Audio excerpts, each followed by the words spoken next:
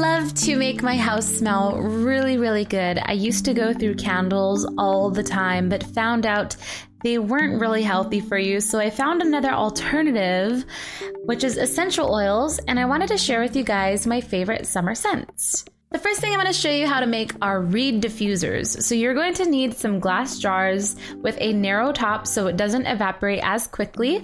You're also going to need reeds so they can absorb the oils and essential oils. So you can really get creative here, use as many or as little as you like, but I'm to show you guys my favorite. I'm going to use sweet almond oil as the base and vegetable glycerin we are going to be using in a air freshener spritz. So you're also going to need a spritz glass jar because some oils break down plastics. So the first thing we're going to do is we are going to pour a half cup of our almond oil inside of our glass jar. Then it's time to add the oils. I'm gonna make a really simple one, which is a combination of lavender and tangerine. So I'm gonna add 15 drops of lavender for a nice calming effect, and 5 drops of tangerine for a bright and cheery effect. Mix them all together, and now all that's left to do is add about five different reeds to this, and you are done. So the essential oils are going to be absorbed into the reed sticks and travel up through the sticks. You can alternate and rotate them if you want it to smell more potent. So another combination of oils I really like is five drops of lavender, seven drops of grapefruit, four drops of lemon, and four drops of peppermint. Mix these all together and you will have a very fresh and uplifting scent.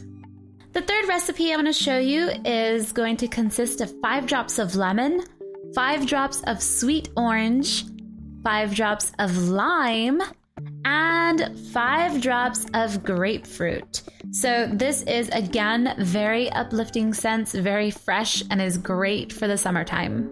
So that's it. You now have three different recipes that are great for the summertime, but I will admit these are a little bit subtle. If you want something that's more in your face smell, I would suggest making a spritz. So add half a cup of water to your glass bottle, and I'm just gonna add a little bit of vegetable glycerin to this so the oils can combine with the water better. And I'm going to add in a teaspoon of vodka. So now that you have your base, you can go ahead and add in your oils. I'm doing a combination of four drops of sweet orange, four drops of lemongrass, and two drops of patchouli. The patchouli adds a bit of an earthy smell to this, but the lemongrass and sweet orange definitely make the scent sweet and pleasant. Before you use your spritzer, remember to give it a little shake and enjoy the smells. Let me know in the comment section below what is your favorite summer scent. I hope you guys enjoy these. I will see you all later.